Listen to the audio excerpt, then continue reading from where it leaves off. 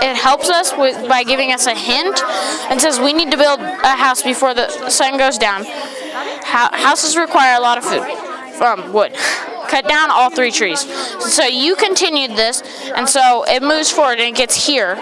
So we we already ran this once. You got the rest of it. And then so you keep going.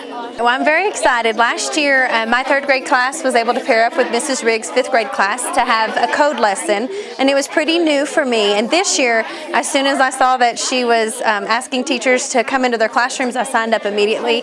The kids right now are working one to one with a fifth grade student on iPads, which is phenomenal because having the technology in the classroom is something that we're really pushing as a district and as a school here at Woodmen Hills.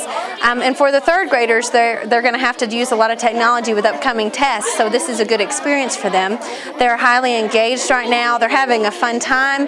They're learning how to code different lessons. They're they're working with Minecraft and with different like Star Wars games that are interesting for them. So the kids right now are just working one to one and having a great time with their fifth grade students look at oh, wow. what they have already done. Look at how much they've already coded in the wow. 10 minutes we've been in here.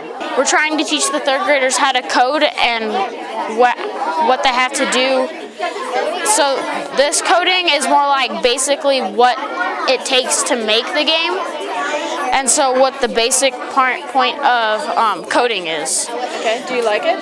I think it's fun personally. Um, what do you think of it? Awesome. It's awesome.